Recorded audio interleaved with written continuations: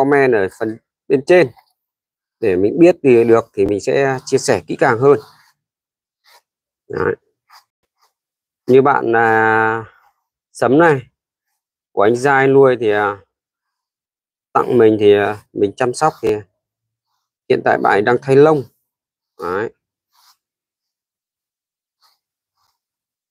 À, hoa nhè sấm nhè.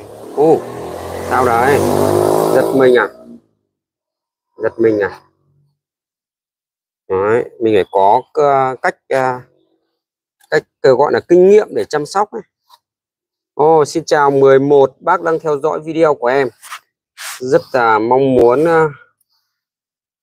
mọi người chia sẻ cái video này nhiều hơn nữa để người biết tới cách chăm sóc và nuôi dạy chó nói chung.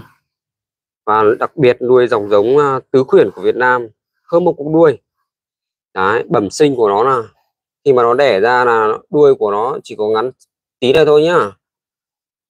Còn có loại có là loại tịt nữa cơ.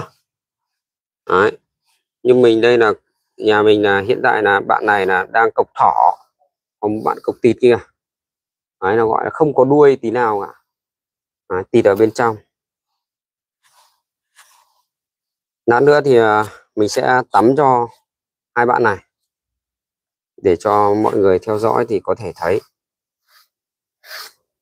Mình trải lông qua qua đi ạ.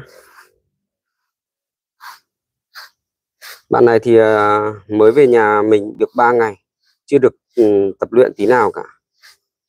Bởi vì là mình à, trong thời gian qua thì mình cũng đang đi bận, đi làm này.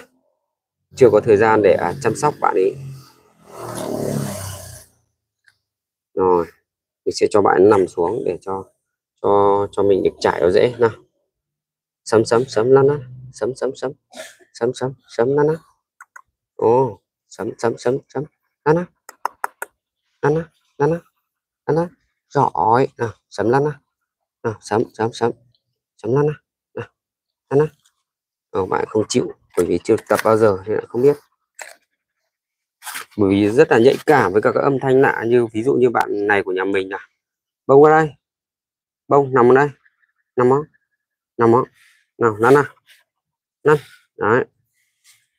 Bạn này của nhà mình đã được tập rồi thì bảo bạn bạn biết mặt cứng à cười. Vô duyên.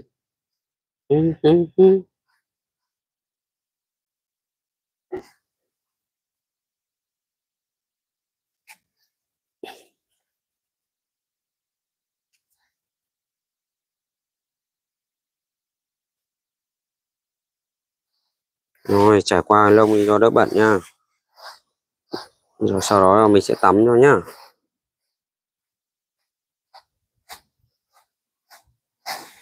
Rồi này à, tắm mất gần chai sữa tắm mất.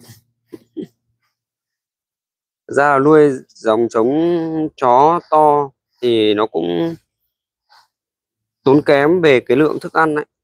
Nhưng mà được cái là à, khi mà nhà có không gian ấy, nuôi dòng chó dòng chó to này rồi, các bạn sẽ thấy thích hơn là dòng chó con. Bởi vì dòng chó con ấy thì bạn, các bạn nuôi thì có thể là nó cảm giác nó rất là vướng. Bởi vì khi mà mình đi lại này này, chân tay của mình không kiểm soát được là kiểu như là dẫm vào bọn nó bình thường nhá thì dòng chó to này thì nó sẽ đỡ hơn bạn này đang thấy lông nên là mình rất muốn trải cho bạn ấy để cho bạn ấy thay hết cái lông đấy đi. Rồi sau đây thì mình sẽ để lấy uh, sữa tắm tắm cho bạn ấy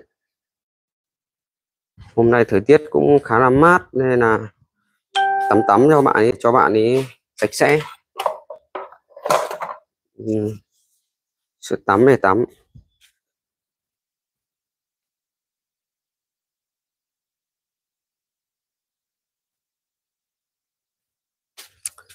Chờ mình một lát để mình à, thiết kế cái à, chỗ để cái video để à, chỗ để cái máy quay này để cho mọi người xem nó có dễ dàng hơn.